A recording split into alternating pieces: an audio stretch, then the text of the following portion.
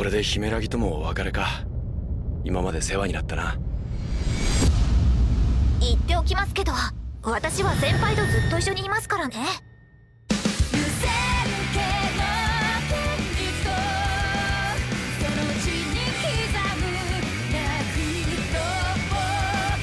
糸神島という祭壇に供物を捧げ今ここに大いなるゲートを開こう。絶対にアブローラを連れ戻す。先輩じゃなきゃ救